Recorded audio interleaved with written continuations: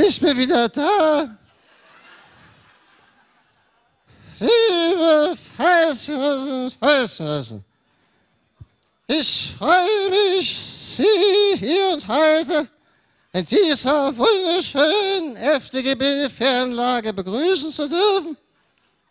Darf Ihnen an dieser Stelle die besten Grüße des Zentralkomitees Deutschlands,